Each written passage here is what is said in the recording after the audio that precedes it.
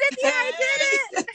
you did it. My goodness. Oh, I'm so happy for you. I am so delighted. How do you feel now that you're PMP? Um, I still have knots in my stomach. like that really happened. It's really over with. I can't believe it because my life has been so dedicated to it. Um, the, wow. especially the last couple weeks. So it just feels it feels really good, but it's still unrealistic at this point right now. wow. So tell me, what was going through your mind? You walk into the exam. Did they did you do it at home or you did you went to a test center, right? I did. I went to a test center. Right. And then they kind of uh, rustle you up, tell you, okay, make sure you're not carrying anything. Then, boom, the exam starts. How do you feel on question one? Um, well, well, one tip I will share is uh, somebody told me that taking the test in the morning instead of the afternoon makes a big difference because of the way that your brain functions and having a full night's sleep and just who you are. Like if you think about your workday, two to three, that's kind of your crash, right? That's when you need that other cup of coffee to keep going. And once they said said that, it kind of kept resonating with me. So I actually called the test center because my test was at 1230. And I just said, you know, I really um, was wondering if you have any spots open this morning. I would like to get mm-hmm. this test done sooner because it's such a long test. And the very sweet guy, Jim, put me on hold and he came back and he said, We can fit you in at 10 o'clock. Wow. And I said, I am on my way. so you are agile. yeah. Well, yeah. but he was, they were super sweet. They're super nice. Go over the rules, make sure you know the rules before you go in. And um, that first 10 questions, I would say. I think I flagged like six of them because I was like, I just want to make sure. I just want to make sure. And I knew once I got rolling, because that's kind of my uh, theme that I've had with my mock exams, mm. that once you get rolling, um, you realize like, oh, there's certain things I'm not paying attention to because the anxiety is taking over. So I flagged a bunch, got through, came back, and revisited everything. And there was probably four that I changed the answer to when mm. I hmm. realized, like, oh, wow. they said first, they wow. said next, they said, what should they do? Not what should they do first, but what mm. should they hmm. do? And so little things like that you start to catch when the anxiety kind of settles down a little bit. The first 60, I thought I bombed completely. I was how did you feel though? Were you feeling despondent or were you just keeping hopeful and just going? So I gave myself a little pep talk on my break and I went to the bathroom and I kind of walked around and I meditated for a minute and I was like, you got this. Like you got to stop. You have to stop overthinking. Mm. Um, even if you bomb the last or the first 60, you got 50% of them right, which means if you get the next 120 right, you're golden. Mm, and like so that's that. what I just kept telling myself just go in. And for some reason, I don't know if it was the questions or if it was my mind frame, but the next 60, I only flagged three out of all of them. I felt so confident in them, what I was doing and how I was doing it. Mm. And um, yeah, it just, it kind of worked that way, you know, and I felt really good about it. Were you looking at the time, the countdown? Was that kind of guiding you as you were going through? You guys are going to laugh at me. So you have 230 minutes and 180 questions, which is 76 minutes per 60 questions. So I wrote down, as soon as I got in there, I wrote down 150 and I wrote down 76. Mm-hmm. And those are my two goals for completing each of the three for three sets of questions. And I finished like an um 52 minutes early. Wow. I'm a fast reader, which is actually not mm. always a good thing. so don't think it's a great thing when some of you are like, I'm a slow reader. It's not always because I miss things. Um, I missed keywords that matter, but um, I kept looking. The only thing I did was concentrate on that 150, and then I'd go back and see where I'm at and see how many I've done and that really helped me to kind of keep my pace hmm. and make sure that I had time to review everything. I think the first 60, I took up almost all of it. I think I was at like 160 minutes or something. Hmm. Wow. So tell us the night before, did you take things easy or did you go hard into content? What did you do? Confession time. Um, so the morning before, I studied for about, I would say, three hours, okay. and it was just gaps that I knew, gaps that I knew I had, reviewing questions that I missed, look, checking my like mind and where I was at and who I am according to PMI, not who I am according to me as a PM, but who I am according to PMI. And I just wrote things down because I feel like when I write things down, it helped me. And that um, that's what I did. And about 1230, I stopped everything and I said, I'm done. This is oh. it. This is the end of the line. And then the next day I took it. So wow. I did give myself a break. Wow. Wow. Let's t- go into a little bit more detail. I, w- I really want people to know all that you did. So let's jump into a few quick questions. Why did you want to do this in the first place? Did anyone threaten, you have to do this in this job or else? Or why did you do it? So many years ago, I went on a hike with this gal through Meetup, and she is a project manager, which is what I was. And she was telling me how she was a certified project manager. And I started asking her questions about it. And then I took a plunge about three years ago and quit a job where I was being not treated the way that I should be treated.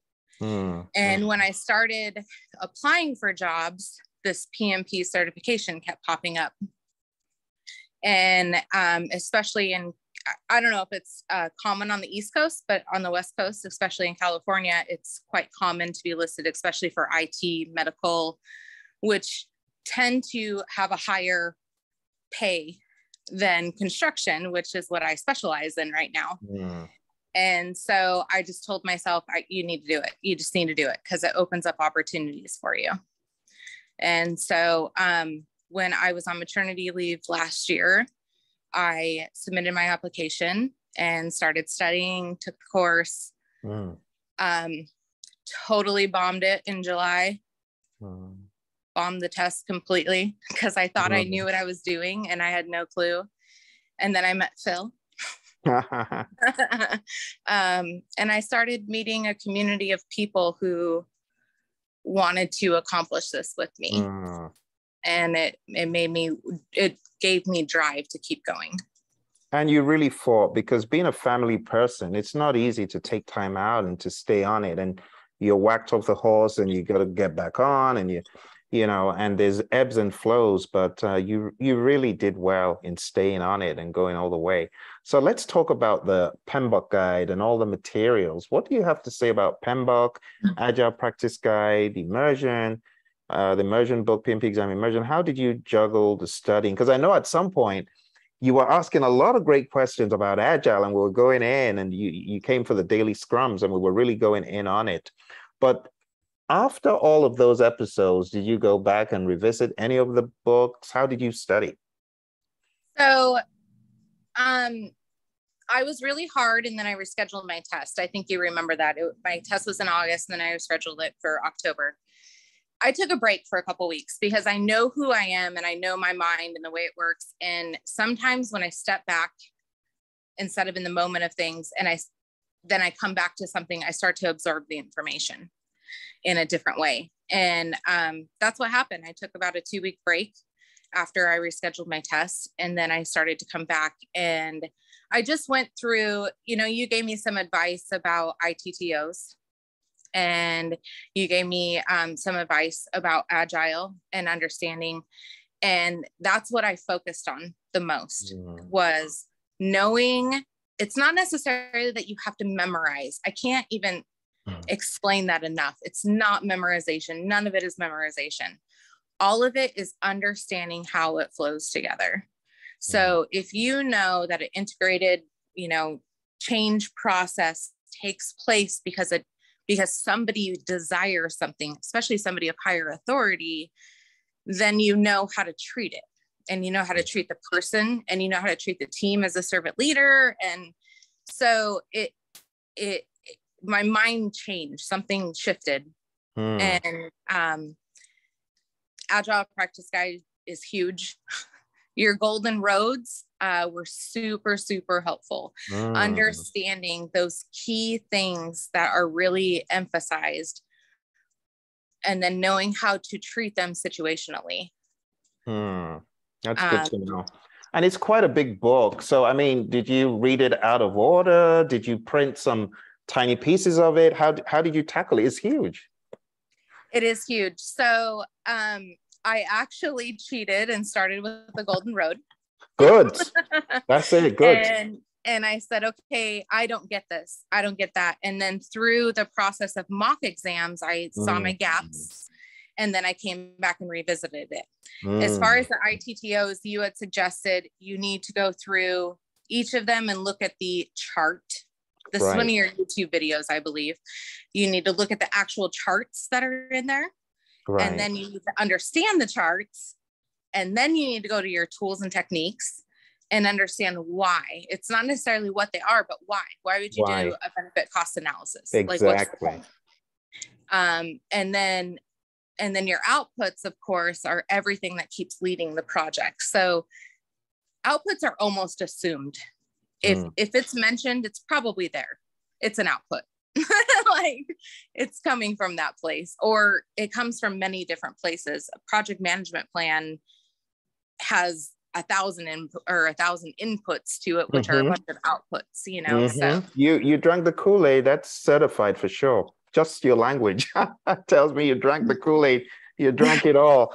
Let's talk about these areas of people, process, business, and and let's let's give you kudos for you know beating beating the life out of the ridiculous test today, because that was above, above, above. So that's that's really awesome.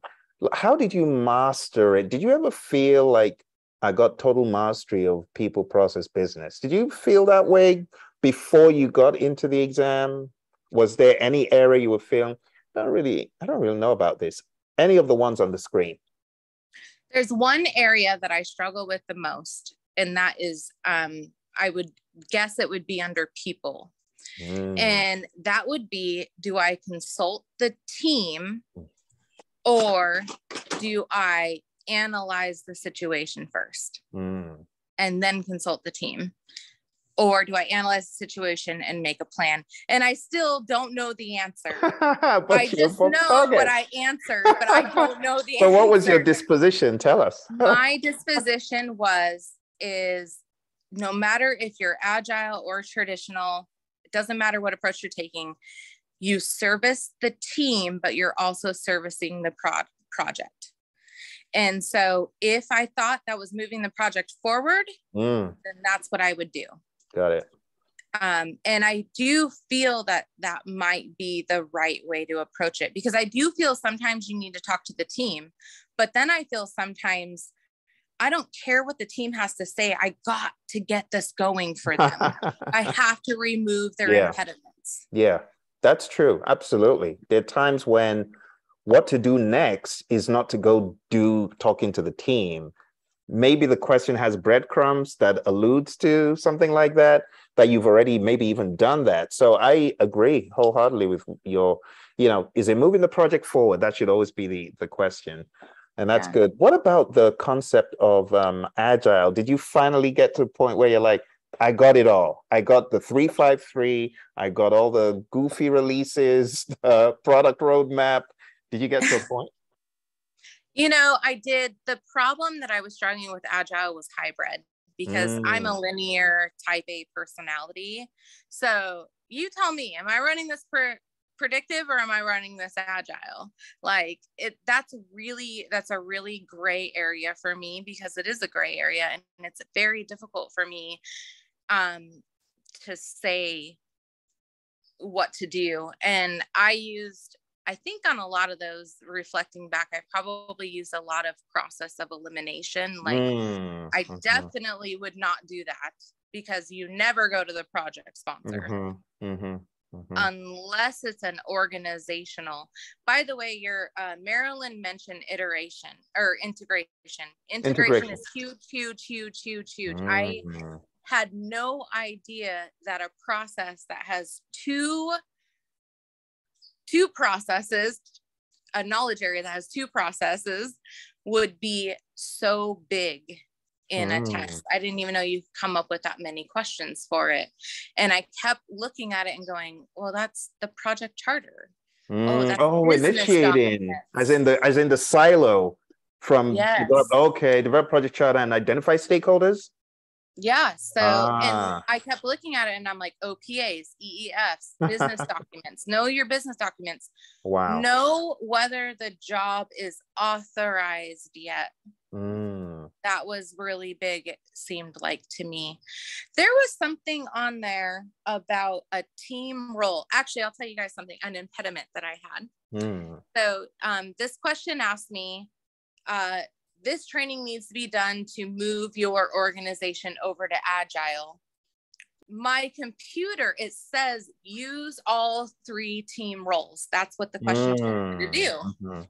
It wouldn't let me paste two in one section. Oh wow. So Hmm. I raised my hand and asked them to come in and I said, you know, it's not letting me answer this question Hmm. um, completely. It keeps telling me to use all three roles, but it won't let me do it. And they're like, Huh. oh, click the next page, click this, click that.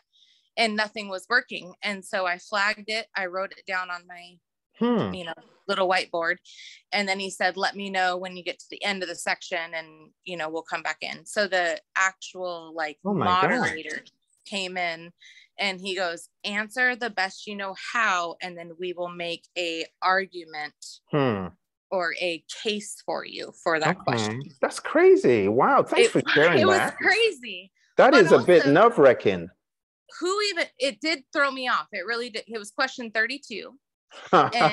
you remember the number. Well, I had to write it down because I had other questions flagged, right? So I It was like, he's like, just flag it. And I'm like, well, I got a bunch of questions flagged. How am I gonna know? Like, um, That's sick. but make sure you advocate for yourself if you need to. wow. Thank you for sharing that. That is Yeah. so helpful to know that there's even quirks on the test. That could Yes. that would throw some people off like the whole mindset majorly. Some of us, one tiny thing like that would throw off the rest of the test. And that was It just question of did. 32. I feel like it did because all I did was have anxiety about what am I Oh, going to do about that exactly. question when we get there. Exactly. Oh my know. gosh.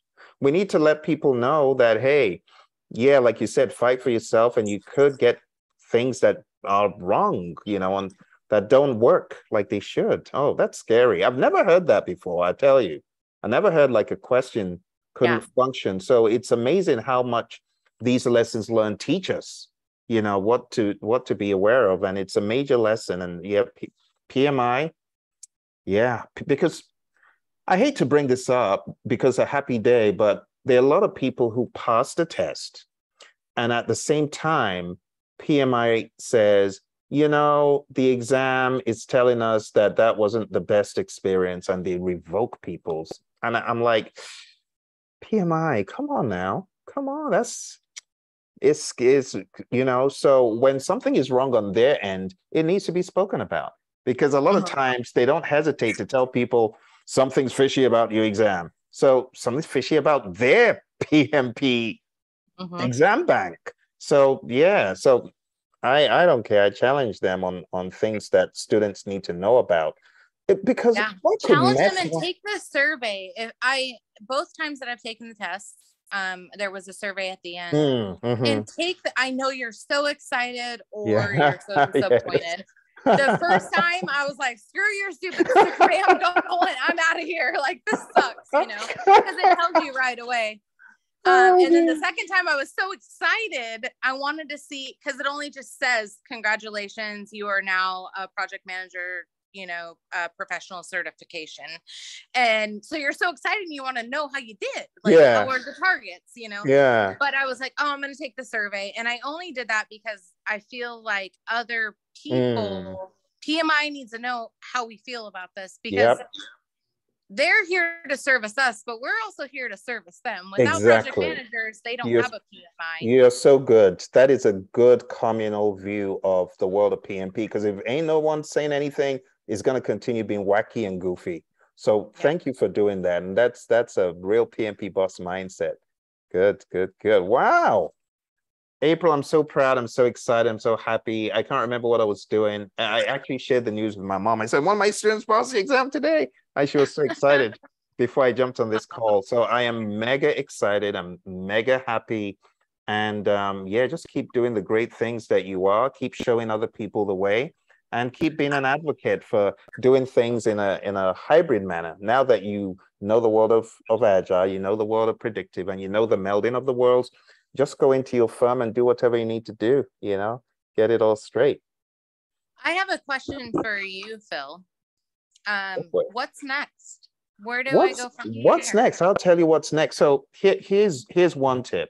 There's a lot of stuff in the leadership uh, areas of this book um, that I'm telling you, these are for life because my mentor, John C. Maxwell, uh, who, who we call America's leadership guru, he taught me a lot of stuff. And I started putting some of them into the book.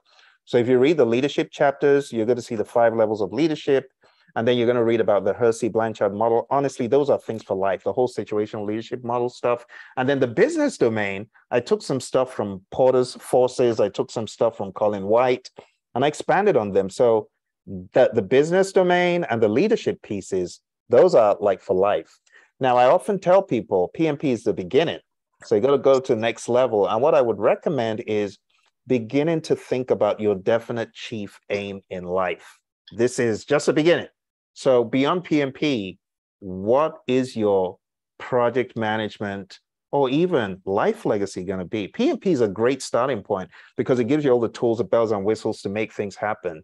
But do you know there are tons of people that need to be affected and impacted by you? Maybe in project management, maybe in just disposition to life, your positive mental attitude that kept you going. So, what is your plan? What is your vision? And for that, I tell people to come aboard the Project Leadership Institute. So that's at projectleadershipinstitute.com because I know we say project management, and management is a great word. It has to do with administration of systems and processes and procedures. But leadership, in my mind, is an even greater word because it has to do with people. And that's why a lot of us gravitate to agile because agile, the number one thing it says individuals and interactions over processes and tools, customer collaboration, and it says give the team the environment and support they need. So it's very leadership driven.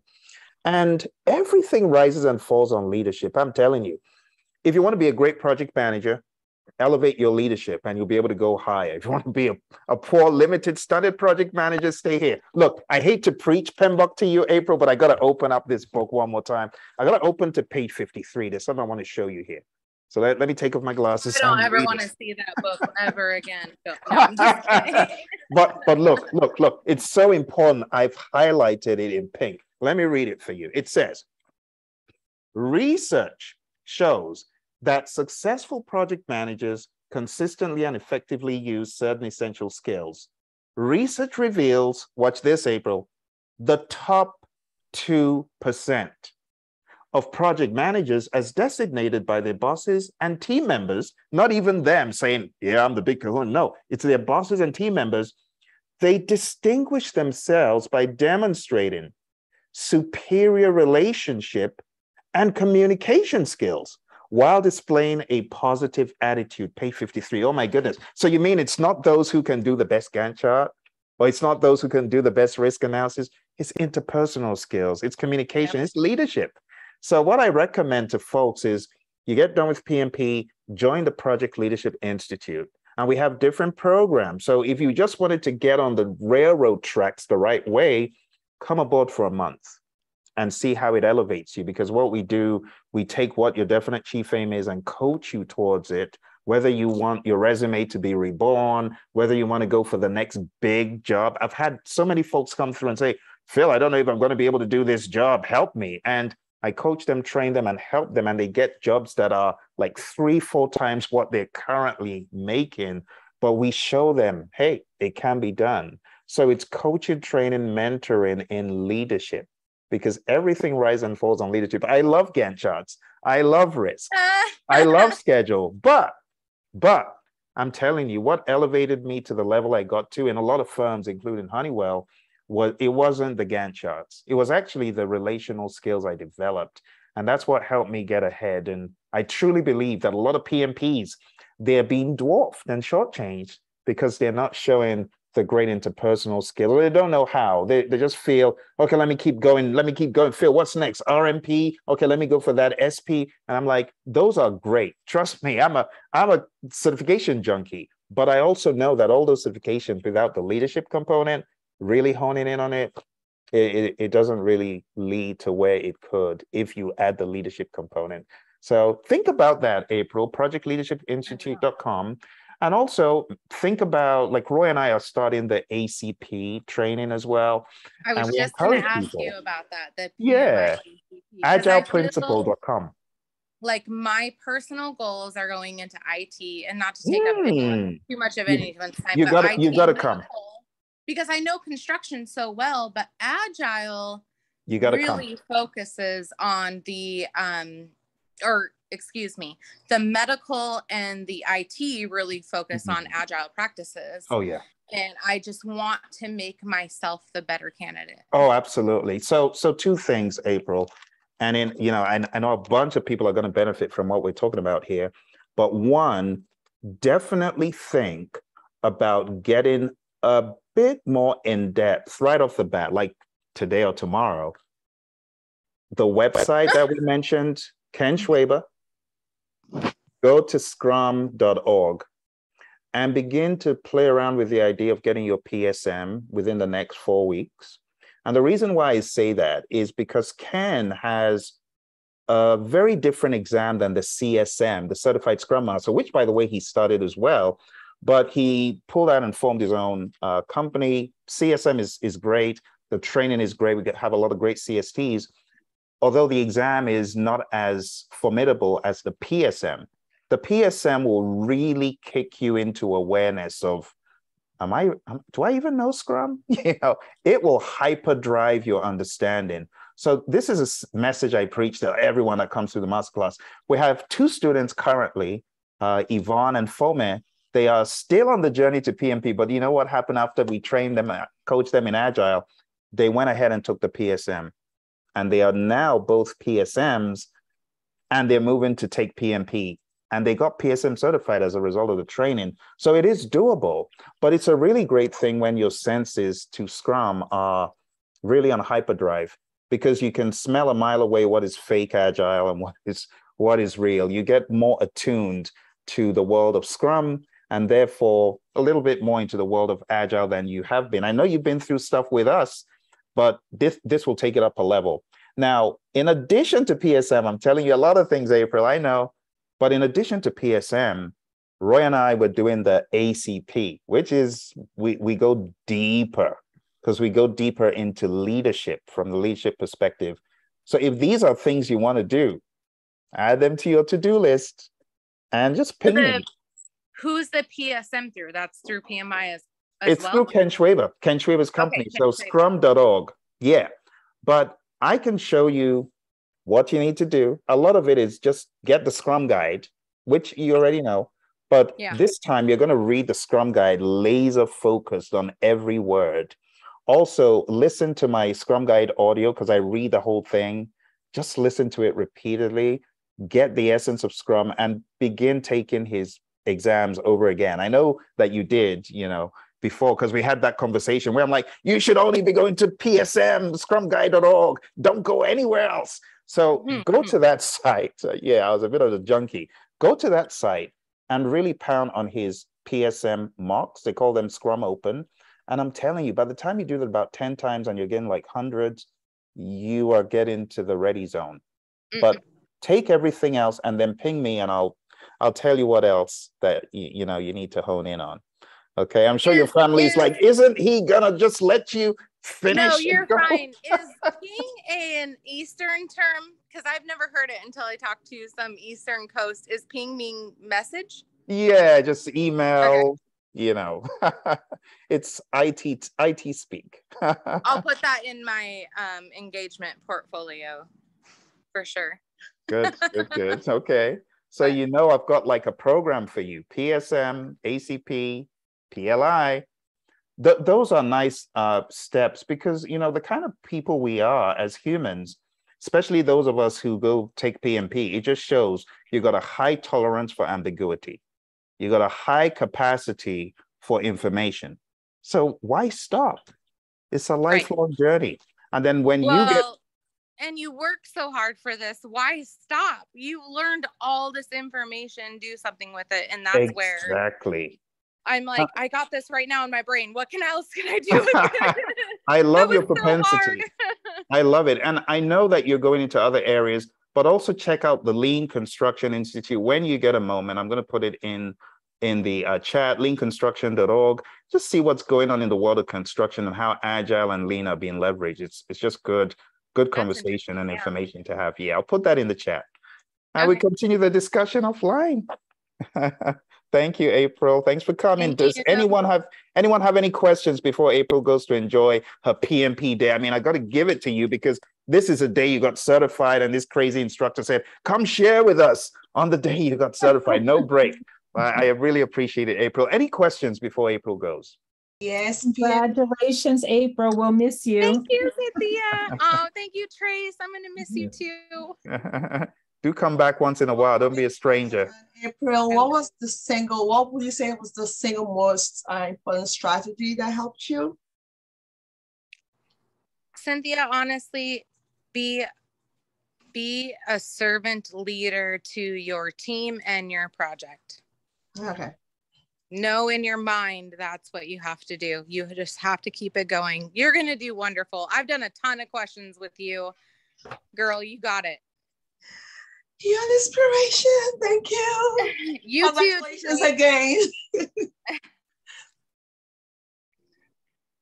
April. All right. Any other questions so we can let our guru go and have a party? What are you going to do today, April, to celebrate your success? Are you going to do anything tonight? I must be doing pretty well because I already drank half a bottle of champagne and uh, vodka cranberries. So cheers. I don't have anything elaborate, but I will sure remember you when I'm, I'm having not much this of a drink.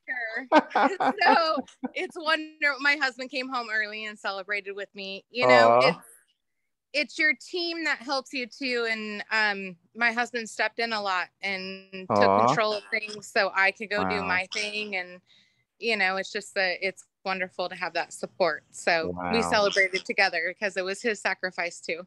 Absolutely. Well, congrats to you both and your whole family. And thank you for coming to speak to us on your PMP birthday. My goodness. Thank you so much. Thank you. Bye, guys. Good luck. Bye.